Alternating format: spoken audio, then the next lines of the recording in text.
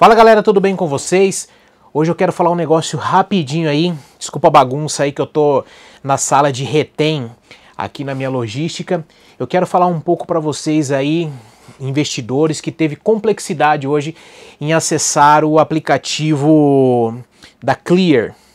Muita gente reclamou, principalmente quem estava com ações aí que vinha numa crescente muito grande, principalmente ações aí da BID4, BID11 e hoje, quando as ações começaram a cair, a bolsa abriu, as ações alavancaram, depois tiveram uma forte queda. Então o pessoal reclamou muito porque não estava conseguindo acessar o aplicativo da Clear. É, não logava, falava que a senha não batia. E galera, eu sou cadastrado na Clear, tem algumas aplicações lá, inclusive tem aplicações aí em BID 4, mas eu sei que elas caíram. É uma hora, no meu ponto de vista, que eu achei interessante comprar mais para poder diminuir o preço médio e ter lucratividade depois aí a médio e longo prazo, né? Que investimento é para isso. E o que eu achei interessante foi o seguinte: eu também sou cadastrado na Rico. O sistema da Rico também estava instável. Conversei com alguns amigos aí que tinham cadastro na XP, também apresentou instabilidade, que é de um único grupo. Então, muito provável que é um servidor, digamos assim, praticamente igual, para todos. Então, galera, o que, que acontece? Teve outras pessoas aí, eu tive pessoas que operam no home broker do Santander, disse que estava perfeitinho. Pessoas que operam no home broker do Inter, já disse que teve algumas oscilações, mas nada assim de tão agressivo. Eu queria saber a opinião de vocês que é, trabalham aí com a Clear, que trabalham com a Rico, algum outro home, bro home broker. O que vocês tiveram de dificuldade? Vocês tiveram dificuldade em acessar o home broker hoje? Tiveram dificuldade para operar? Porque na Clear, na Rico eu tenho cadastro lá, mas eu parei de operar com eles há um tempo. E na Clear eu fui mais para a parte de renda variável aí das ações, pela flexibilidade dela me dar aí, não cobrar a taxa de corretagem. Aí muita gente pode pensar que é o barato que sai caro, mas na verdade, se eles oferecem o serviço como corretora, eles têm que entregar o serviço independente do pacote que eles oferecem. Não existe aquilo, ah, a gente não vai cobrar o serviço de corretagem, porém o teu sistema ele vai ficar oscilando. Ah, não, mas se você for para Rico que a gente cobra um serviço de corretagem lá, o teu sistema vai dar uma melhorada. Agora, se você for para XP, que as taxas de corretagem são maiores, aí o teu sistema vai ficar 100%. Não existe isso, galera. É igual o Banco Inter. O Banco Inter ele é um banco aí totalmente online e o sistema dele funciona muito bem, tanto na parte do sistema bancário quanto na parte de cartões. Isso eu estou excluindo o home broker, tá? Falando da plataforma dele para poder alinhar uma com a outra aí. Então eu também senti certa dificuldade. Tinha hora que você entrava, você o ativo não aparecia valor, o ativo estava congelado, você ia numa outra aplicação, o ativo estava rodando, estava pegando fogo naquela queda. Eu vi até a hora que foi aproximadamente uns 12%, depois deu uma estabilizada. Na, tô falando na parte de BID 4, vi algumas aí como a Paranapanema, que teve uma alta bem considerável de 7 e poucos por cento até uma hora que eu verifiquei.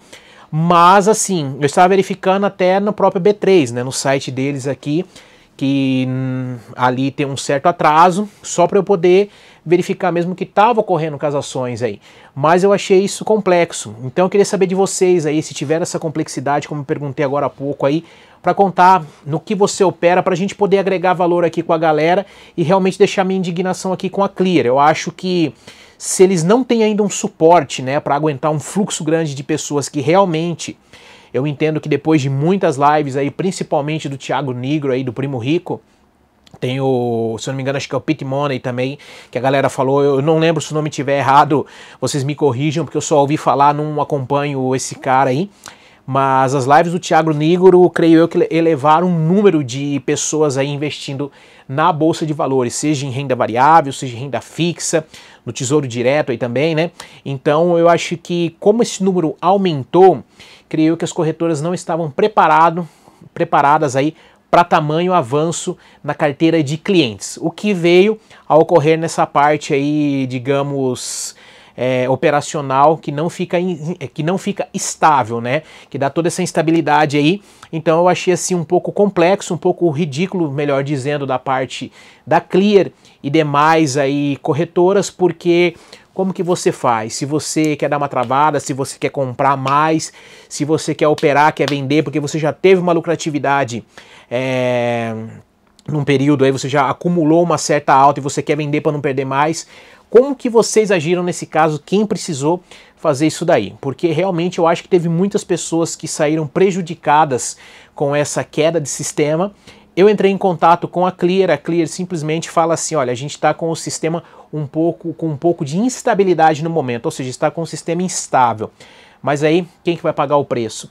A pessoa que está lá para ser acionista, né? Porque realmente os pequenos é, pagam isso. Garanto que os grandes também, eu não sei em que corretora que eles operam, mas muito provável aí que os home brokers de pessoas que investem pesados na bolsa deve ser um home broker muito mais estável, até para não correr esse risco aí de ganhar e perder uma grana muito alta. Que eu vi que as operações ficaram muito grandes hoje na parte de BID 4, que é a parte que mais está estourando no mercado, a galera falando, mas fiquei indignado aí mais uma vez pelo sistema da Clear. Então fica aqui a minha subjeção sobre o sistema, sobre a plataforma da Clear. Não consegui nem operar no, no sistema deles aqui no browser, sendo tanto a parte antiga quanto a parte nova da aplicação deles tive muito, consegui muito poucos acessos realmente na parte do smartphone. Foi o único que me atendeu, mas isso já na parte da tarde, que eu acredito que quando os volumes baixaram de transação, que o preço deu uma pequena, digamos assim, estabilizada por volta de 8% negativos aí na, se tratando de BID 4, aí o sistema parece que normalizou e sendo assim conseguiu o fluxo então trabalhar normalmente dentro da plataforma da Clear que é uma das que estão aí com um nome exponencial muito elevado no mercado, devido a não cobrar a taxa de corretagem. Tá bom? Espero que vocês tenham gostado. Fica aqui meu feedback, infelizmente negativo. A galera sabe que eu sou muito positivo. Quem me acompanha aqui no canal, nas redes sociais, lá no Instagram, que me acompanha, sabe que eu gosto de falar sempre positividade. Mas infelizmente tem alguns vídeos que a gente realmente tem que falar dessa parte negativa para se tratar da realidade. Mas escreva aqui nos comentários então, aonde você está vendo esse vídeo, não sei qual plataforma que você está vendo.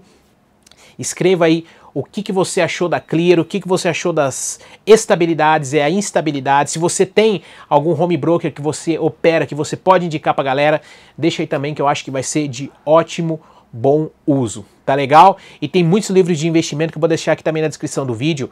Eu acho bem interessante, galera, pra galera comprar, começar a ler, começar a aplicar, porque bolsa de valores realmente vicia. Parece que você quer estar tá ali é, ponto a ponto, ficar olhando e tal, e eu já creio que é um investimento mais a médio e longo prazo mesmo. Coloca, deixa lá é, de repente você estipula um preço que você quer comprar, que você quer vender, chegando lá a operação é concretizada. Tem vários fatores, várias variantes para serem aplicadas aí, mas basicamente é isso, tá bom?